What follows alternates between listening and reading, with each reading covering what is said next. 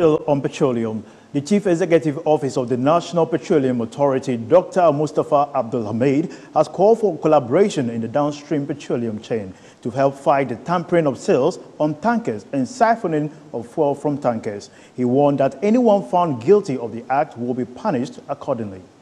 Dr. Mustafa Abdul Hamid, together with heads of departments at the National Petroleum Authority, were in the Ashanti region as part of the atoll of the five regions up north to, among other things, have a first-hand information on operations of agencies under the authority interacting with the media in Kumasi after touring the bulk oil storage facility and fuel tanker yard at Kaase. He noted that despite the installation of sales on licensed tankers to address fuel siphoning, the National Petroleum Authority received more than 15 incidents of sales tampering on daily basis, a situation he described as worrying. The investigative processes have been triggered, and once the investigative processes are complete, and we determine that this was an illegality and so on, then the product is confiscated.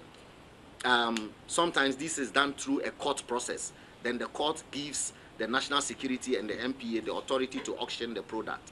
And that is if it is wholesome.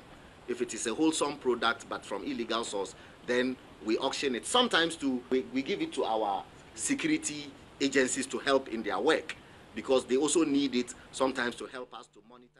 Now, away from that, Executive Secretary for the National Service Scheme, Osei